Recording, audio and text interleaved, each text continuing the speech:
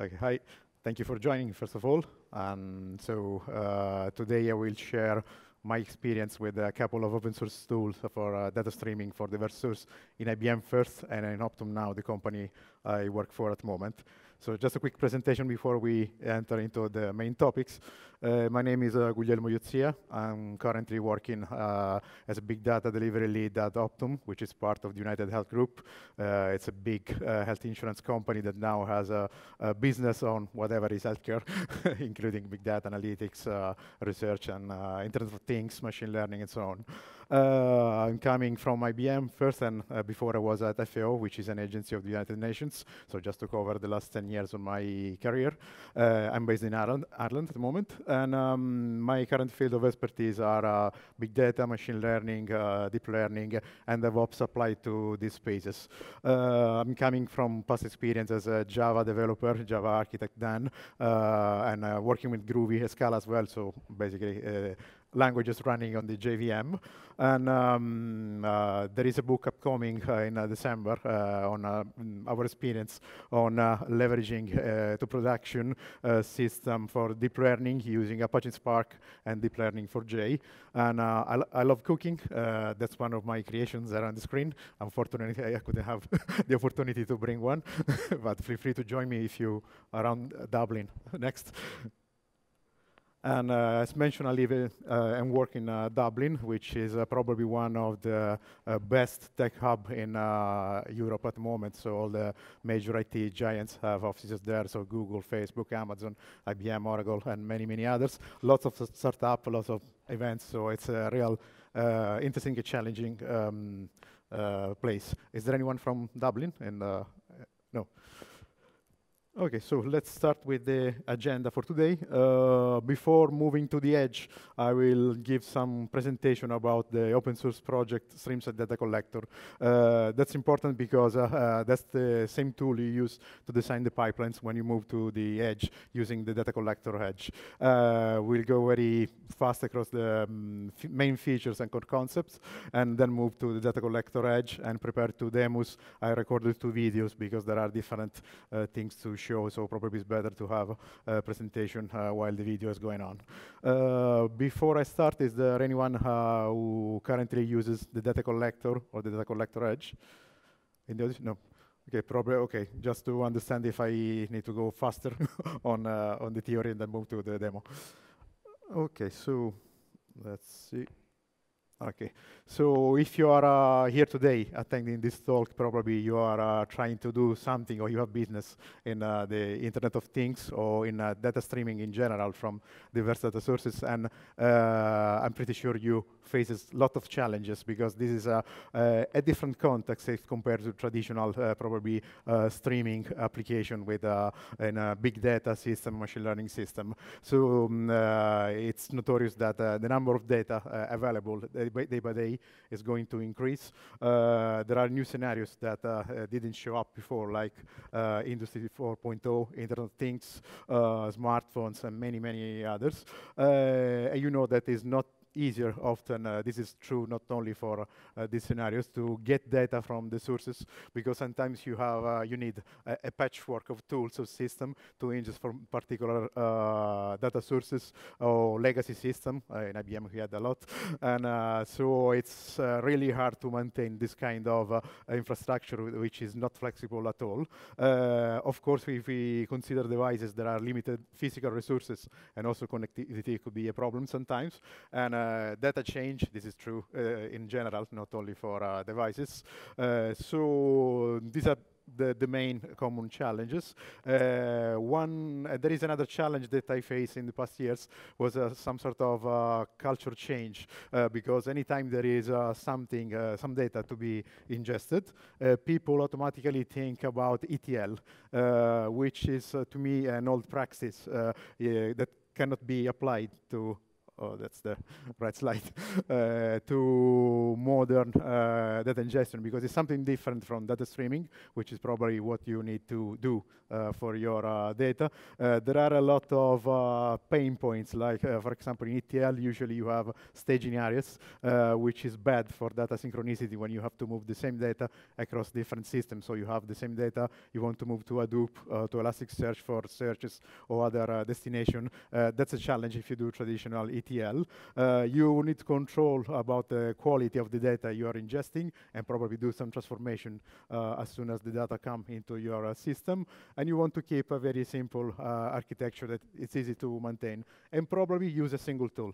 Uh, so that's why uh, we came up after a different proof of concept in 2016 to use the data collector, which is an open source tool to design complex data flows with minimal coding and the maximum possible flexibility responsibility in this slide, I put uh, minimal coding, but in 98% of the cases, uh, it's no coding at all. So you can manage everything from a web UI, uh, dragging and dropping boxes over there, and just set up configuration, connection to the system, security, uh, just things like this. So uh, from my experience so far, this is a tool that uh, has been really easy to use from non very strong technical people. So I had in my teams um, data scientists, operation, and sometimes some executive with no technical background at all, they could connect to the dashboard and understand, look at the metrics about the data quality, performances, or things like this. Um, uh, in, uh, basically, this is much more for streaming, but you can run the pipeline in a batch fashion as well if you really need it. Uh, it ensures zero downtime when upgrading the underlying infrastructure. This means that sometimes you need to upgrade your SDC instances or clusters.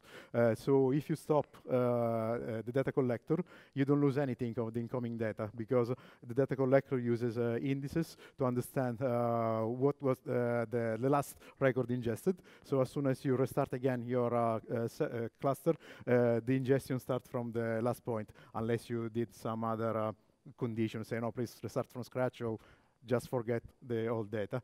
It's open source, implemented in Java. Uh, in order to install it on your infrastructure, uh, you need just uh, Java 8 or later, and um, and nothing else.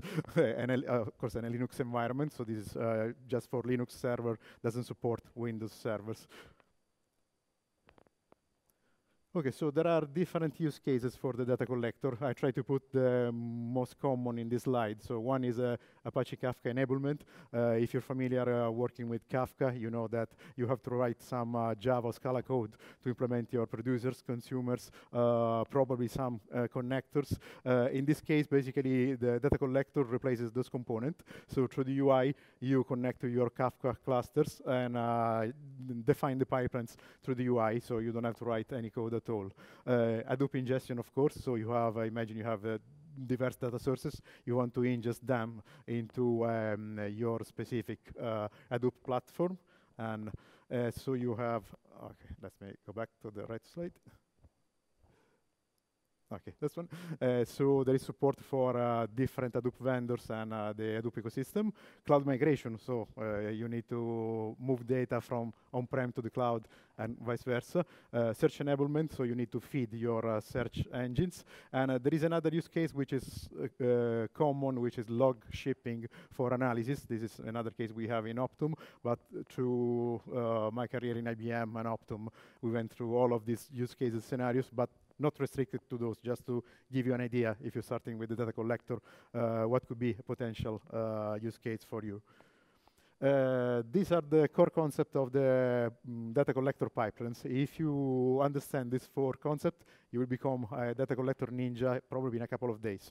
Uh, so in a pipeline, you have an origin, of course, represent the source for uh, your pipeline. Um, uh, processors, you have multiple processors, which basically represent the type of uh, data processing that you want to perform on the incoming data. And uh, there are different categories. I put all of them in slides next. destinations are um, the target for your pipeline where you want to store the data, the raw data or data after some transformations. And execute executors are basically blocks that uh, really don't handle data, but depending of uh, an incoming event, because there is also an event framework uh, out of the box of uh, this tool, uh, they basically trigger tasks that could be mm, something like running a shell script, deleting a Hive table, or um, sending an email, things like this.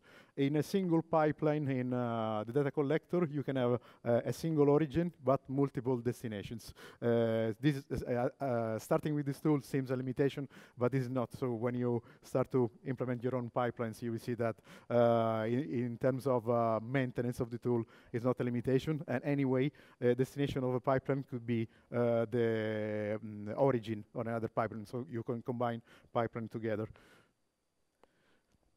In terms of origin, uh, there is support for uh, uh, don't know, probably 60, 70 uh, or more data sources and more to be added. I just put, this is not a comprehensive list, just to give an idea. Uh, an origin could be something in, uh, in a cloud platform. Uh, so far there is support for AWS, uh, Azure and cloud, Google Cloud only. a local or remote file system, HTTP or REST APIs, Kafka producers, um, Hadoop. the HD, HDFS support is general for any Hadoop distribution, while there are some specific uh, support uh, for uh, MapR implementation, like MapR FS, streaming, and MapR CDC. all of the most popular commercial and open source databases are supported. If they have a JDBC driver, you can connect to a pipeline. Just put the, the most popular there. For Oracle, SQL Server, and MySQL, there is support also for CDC. If a change data capture is enabled in the database, you can uh, ingest data in a CDC fashion to the pipeline. Support for protocol protocol like MQTT, like uh, for um, um, uh, IoT. Uh, in terms of destination, again, there are uh, many more, more than origins. Uh, this is not a comprehensive list again. So there is, again, support for the same cloud platform, a local remote file system, some NoSQL databases like Cassandra and MongoDB, the Hadoop ecosystem, so including Hive, HBase, and others, relational databases again, MQTT, and search engines so far, Elasticsearch and Solr are supported, just these two. Um, the, in terms of the available processor, uh, there are hundreds, and I try to collect in uh, uh, by category uh, in the slide. So you have um, a processor to manipulate fields, uh, other to add a lookup to your pipeline. So imagine you have ingesting something from uh, an origin. before sending data to a destination, you want to merge data with something coming from another relational database, a HBase table, um, a file, some third-party REST APIs, there are different lookups available. Uh, expression evaluator, there is an expression language uh, included in tool. Uh, parser for some particular um, files like JSON files, XML files, the most popular log files, logs file format. stream selector to reroute the data inside the same pipeline, split in different route to move the data to different destination and performing different transformation inside the same pipeline to uh, depending on the destination. Uh, you can also add some script if uh, you need to do some transformation which is not covered uh, by one of the existing processor. Uh, there is a specific processor to add a script and accessing the real uh, runtime APIs for the data collector, and the script could be in Jython, Groovy, Python, and um, JavaScript. Just a second, going back to the right slide. Okay. Uh, it's possible to add also, um, uh, as part of the pipeline, an existing Spark job you have implemented in Java and Scala. And, um, uh, and also there is the schema uh, generator, which basically, as soon as you wire a new uh, data source, and uh, you basically, there is a data change, a data drift, the new schema is captured in Avro format. So this could be good for you to understand how you want to uh, handle the new schema or, or go on with the old one. Uh, there are other topics to cover, but probably I will go through the first of the two uh, demos. Uh, I'm free for questions about this topic anyway uh, after the talk. Oh, a second. Okay, let me unfreeze this.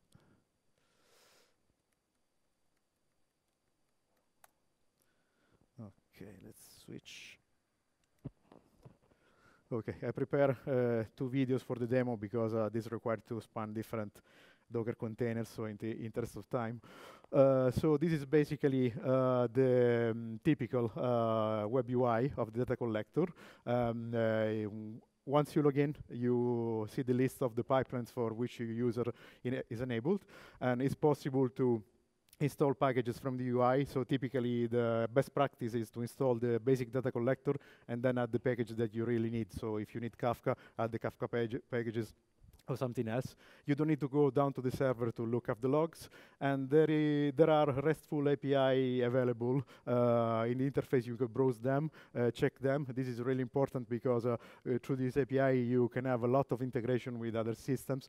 Uh, we use them a lot also in terms of continuous integration, continuous delivery, because through the, this API, you can do uh, all of the same things you can do to the web UI. Um, um, then in this, for the example, I prepare two pipelines for to show a Kafka uh, enablement uh, example.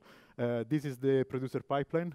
Um, uh, as you can see on the uh, right part of the screen, you have a list of all of the available origins, destination, processor, executors. Just pick up them from the list and drag them into the into the web UI.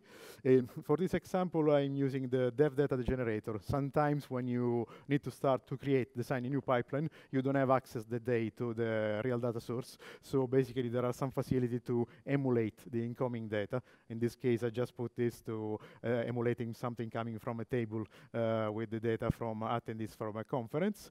Uh, then I put a stream selector which reroutes the data to uh, the destination Kafka producer and uh, discards all of the data uh, for which the field company starts with G. this is just an example. I apologize if your company starts with G.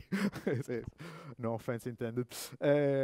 so in this example, you have an origin, one processor, and two different destinations. As you can see, you can have multiple destinations. in terms of the Kafka destination, you have to add a list of brokers, a comma separated list. Uh, of course, you uh, set up security. If uh, your Kafka cluster, I suppose so, is security, you can use the same security as Kerberos or, or, simply TLS. Define the, the format of your data. In this case, I selected JSON. You can then validate the pipeline before you start, and you can also preview the pipeline. This is good because anytime you make a change or create a pipeline from scratch, before you move this to your uh, source control system and then to the destination server, you can uh, run a preview and see what's going on. So uh, uh, there is a view for each stage. In this case, uh, on the left, there are uh, the incoming records. And if I select the Kafka uh, producer, you can see that basically um, there is the same record with a company starting with two. So it has not been uh, discarded. So when you're happy with your changes, you can deploy the pipeline to the destination server. Um, best practice is to have a streams data collector instance for design only, and then having the different environment dev, uh, test stage, uh, pre-production, production uh, with a uh, different environment just for the execution and, uh, and testing purposes. Um, this is the second pipeline. In this example is in the same design server, but uh, Eh, in, a, in practice, this should be in a different data collector, which basically consumes data from the same topic, uh, then perform just a single transformation, which is the um, renaming of the ID field, assigning a meaningful name at the ID, and then I use just the trace destination because this is an example, but then the destination could be everything is available there. So if you want to send this data to Hadoop, to relational database, to Cassandra, to MongoDB, or some other destination, uh, that's it. Uh, now here I started the pipeline. Uh, there were still 7,000 uh, records into that topic, uh, not yet consumed. So anytime you run a pipeline, you have a lot of widgets uh, to give you metrics about the quality of the data, and in this case, the performance of the pipeline. And you have, um, you will receive alert you can set up your uh, data rules on, on, the data and also on the data drift. Uh, you can set up then notification by email or creating a webhook. And uh, you have always the history notification about errors. In this case, there are no errors, but you have all of the messages there. And the same widgets are available to check the performances of the overall node or the overall cluster. There is another section there. If you are administrator, you can see how it's going on in, um, in terms of memory, JVM, um, and general performances. In that case, you can see there was a peak when the pipeline um, ingested the 7,000 record, and then it's back to normal. And a new thread has been created and then destroyed as soon as the, uh, the ingestion uh, completed. So the pipeline is running, but because there are no other data on, in the topic so far, uh, the, the thread is destroyed. So in that case, it's a single threaded pipeline, but it's possible to have uh, multiple threaded pipeline. Um, so if I go back to the other, uh, the producer pipeline, and uh, run this pipeline, I expect to have new record uh, published into the Kafka topic, and you can see that is a is running, and uh, the other pipeline should have detected that there are new records in that topic, and we should see uh, the ingestion uh, moving back on the to the other one. So in a couple of seconds, the video will go there. and you can see there are uh, so far 29,000 records and still ingesting. So I kept this example as much simple as possible because basically these are the exact same thing uh, you do uh, anytime you uh, implement a pipeline, whatever is your scope, if it's a Hadoop ingestion or a different scope or moving now, you see to the edge, is exactly the same uh, stuff. So let's go back to the presentation.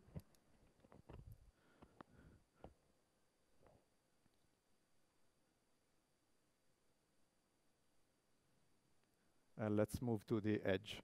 Okay, so um, um, forgot to mention that the data collector is agentless, so you don't need to install anything on the origins and uh, uh, destination. So just connect to those sources. The data collector handles all of the uh, protocols available for that particular uh, data source or destination. Uh, the, the security available in that case, so if it's Kerberos, TLS, or whatever uh, you have in place, is supported by the tool.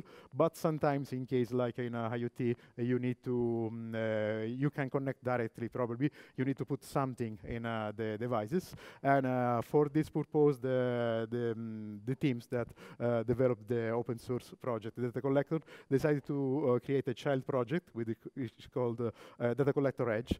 Basically, is this is meant to run pipelines directly on the devices, and is bidirectional. So you have the devices that could send data to the data collector, and it's the same. The data collector could send data back or some other notification alerts to the devices as well.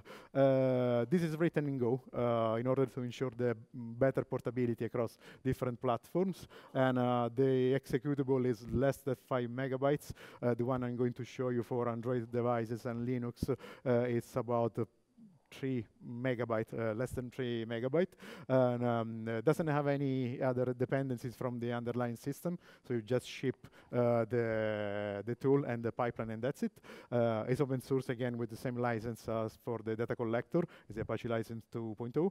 Uh, doesn't have dependencies on external IoT gateways. So the communication is between the edge uh, and the data collector, or it can connect also to different systems. So if you don't have the data collector, Uh, because you say, okay, uh, I'm happy with the data I'm collecting from the devices and the very basic transformation I could uh, perform there. You can send this directly to Kafka to be consumed by other system, to any HTTP server or other uh, uh, system supporting protocols like WebSocket, M, and others that will be added in the next months. Um, you can perform routing and filtering on the edge, so some of the blocks available for the transformation you do in, in a data collector pipeline are uh, available there on the edge. So you can discard data, uh, recruit data, filter data, uh, add extra fields. there are mm, several options, not Uh, so comprehensive like the data collector, but uh, more will be added. And uh, you can uh, deploy this natively on, uh, if your operating system in the device belongs to one of those five families, Linux, Windows, Mac OS, Android, iOS, you can run the data collector edge over there as mentioned before, it supports uh, different uh, messaging protocols, uh, including Kafka, which is the last one that has been added a couple of months ago. And uh, uh, again, uh, it's the same concept as for the um, data collector. You can detect also data drifts into the device. If something changes, this is tracked by the device itself, so you don't have to wait to receive the data in the data collector and trigger some event to do this. Um, last point is important. Basically, if you have a single device, like for example a, a smartphone, and you want to collect uh, um, data from different sensors, let's say for example for uh, uh, data about the position or data about the accelerometer, you don't need to deploy multiple uh, SDC edge. You need just one and multiple pipelines to run in parallel in the same device. So this is uh, uh, quite useful and also better in terms of maintainability, not just in in terms of performances. Uh, these are the two most common use case for uh, the um, edge, uh, Internet of Things, of course, and cybersecurity to collect data from different devices inside, for example, your corporate network. And this is the use case that where we start to have proof of concept in, in Optum. And then let's move to a quick demo. Oh, before moving to the demo, just so this summarizes what I uh, talked about before. Uh, so if you move to this kind of architecture using the data collector and the data collector edge, you will move from the scenario on the top to the one on the bottom. So in that case, you don't need an external IoT gateway. You don't need to have different tools uh, deployed on different devices or write your custom code for each device, which would be a mess to handle and maintain. And, uh, and then uh, all of the protocols you handle, the messaging uh, uh, system you have is Kafka, ActiveMQ, or something similar. You just need the edge and the data collector or send the data directly to those messaging system. And then from the data collector, you ingest the same data uh, to different platforms. So uh, to Hadoop, for example, for uh, historical analytics, to time series DB for real-time analytics, to some dashboard you have to show this, to present this to um, your executive in your company, mm, or, or just to consume the data immediately in a visual way. Okay, let's switch to the other demo.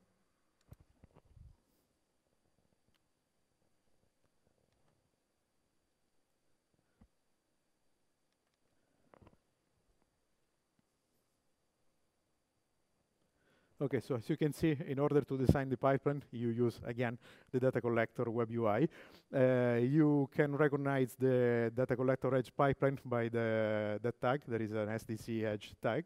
And uh, it's the same UI. Uh, the difference is that uh, there are some differences. First one is that, of course, you have a limited number of origin and destination processors.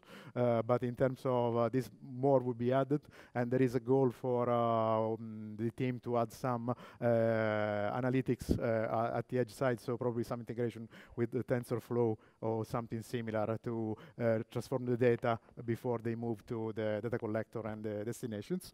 And um, uh, another difference is that in this case, you can design the pipeline, then version the pipeline, handle the pip pipelines the same way you do for the pipelines for the data collector, but you cannot execute and preview them here.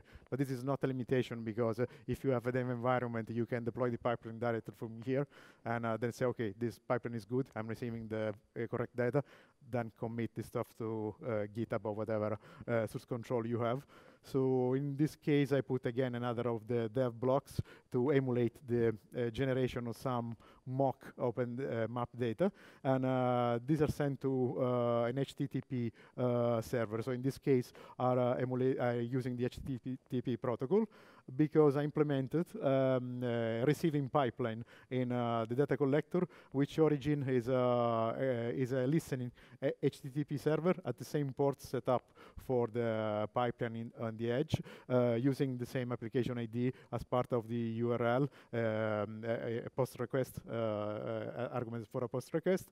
And then inside this pipeline, I did very basic transformation. So to remove, I put a field remover to remove the ID field, which is uh, meaningless for our uh, analysis. And then I converted the user um, field converter to convert the tags um, field in a string format because I was receiving the from the side in a long format, but I need this in a string format for this example. And you can you can you can choose. We receive the data in a JSON format. but here, uh, you can set up the pipeline to handle the data in a different format. So this is uh, as part of all of the blocks available in the data collector, the data collector edge. You can change the format of the data uh, at each single stage of the pipeline. So if you receive something in JSON, but you need to do this, uh, convert this as a map or in a in a string format format or whatever format is available there, or some binary format like Avro or protocol buffer, you can do on each block.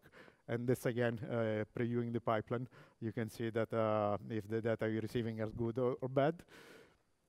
Then in this example, you can see there is no ID and the field uh, has been converted, the text field uh, converted from uh, long to string.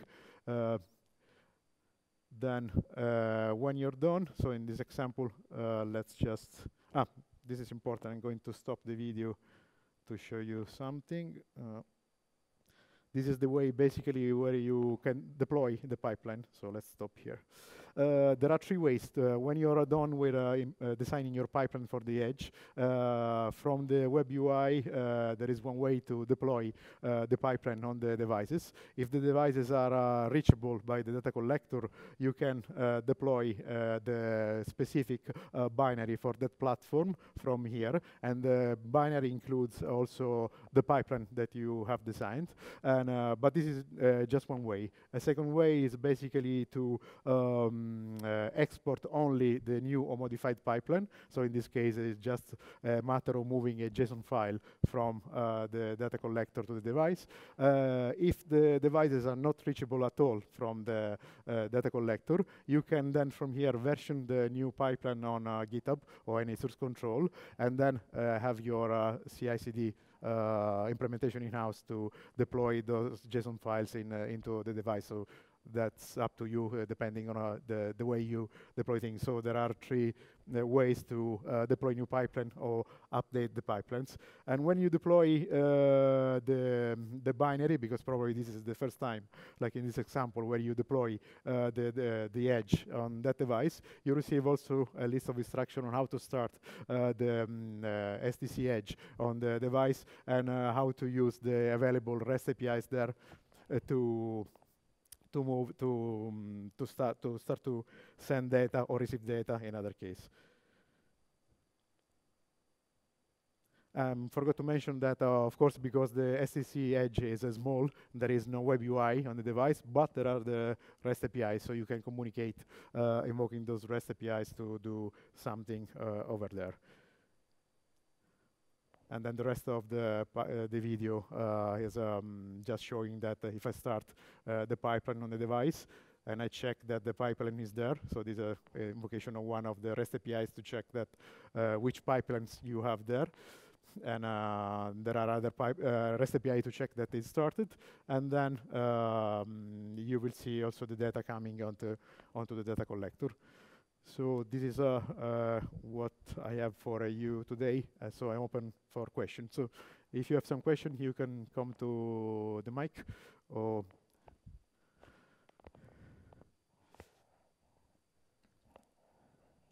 I'm pretty sure you have question. Don't think that there are stupid questions because a stupid question doesn't exist.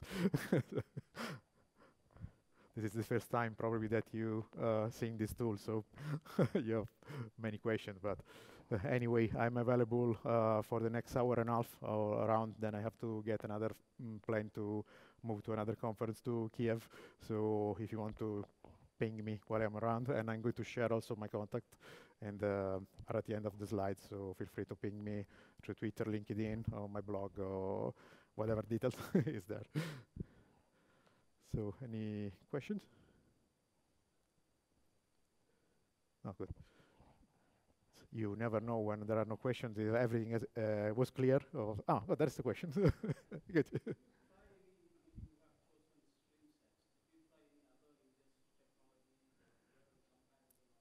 Yeah, so the question is uh, if I really move to directly to StreamSet or do the comparison. Yes, we did a comparison in IBM uh, at the beginning of 2016. Uh, we started with Apache NiFi, and uh, then we jumped into the data collector uh, two or three months later. I was attending a conference offline. Uh, there was a suggestion of this new upcoming tool because this is quite new. it's been implemented in the first release on September 2015. we had some challenges with Apache NiFi because the there was a lack of documentation, and the teams working on the project there, it was a, a mixed team. There were data scientists and software engineers.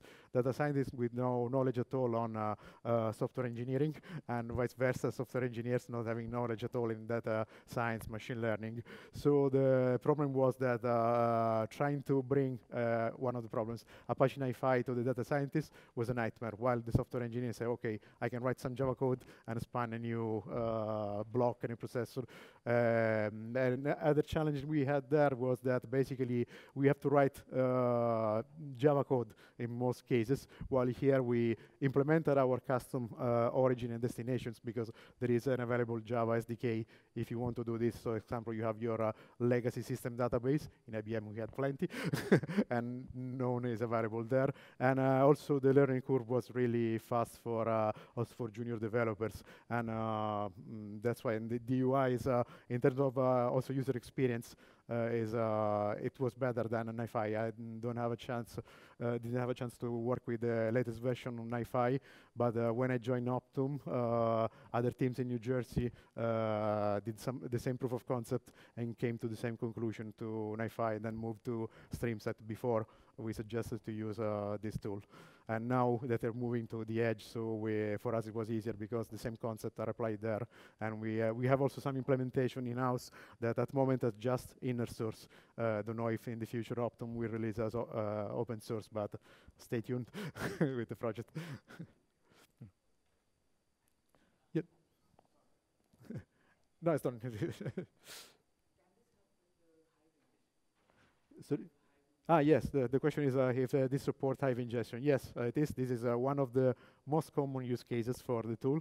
Uh, there are also plenty of examples in uh, the official documentation. I cannot share the pipeline of Optum, of course, but uh, this is something that is uh, pretty stable. Also, the data drift uh, with the other format worked very well in that case with Hive and HBase as well. And there are specific things to consider depending on the platform. What, what's your Hadoop platform. Which one? Uh, uh, it's uh, Cloudera, Hortonworks, uh, Map Hortonworks, okay. Uh, no, there is support for there, so no, no, it's fine. There is uh, for MapR, there are some small differences because we use MapR, uh, we have a partnership with MapR, but they have some implementation. My experience so far is if you use Hortonworks or Cloudera, everything is fine, so follow the documentation and create a pipeline. With MapR, you have to do some things, but they are covered as well and, in the documentation. So you're lucky you don't have MapR. okay, any other question?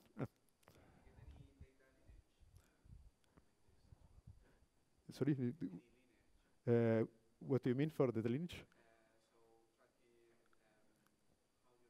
Ah, yeah. Yeah, basically, as part of uh, uh, those widgets, uh, there are uh, lots of data uh, behind the scene. Uh, lots of um, facilities that give you some insight. One thing, important thing is that uh, basically when your data uh, move to the platform, you have insight about the data quality and things, but uh, nothing is stored there. So if something bad happens, uh, you receive an error message such as saying this record has this problem, depending by the rules you set up, but it's not written there. So you have to go back to your source of destination if something goes bad. So in terms of security or privacy, the implementation is not to just have the data flowing in a streaming fashion, and, and that's it. I have some signal that I have to cut, but just want to show you my contacts just in case uh, they're part of the slide so if you want to reach me for any questions or if you want to browse the um, there is another slide with the links to the source code repository in github if you want to contribute or want to participate. So uh, you're welcome. so there is a huge community, in particular if you go uh, and going to the other slide. And to the SDC uh, user group in Google, there is a big community, uh, but also Ask StreamSet is some sort of Stack Overflow tailored for uh, these problems, and you will receive a lot of uh, support of use cases there are some ideas that you can put also on the Jira uh, of the project.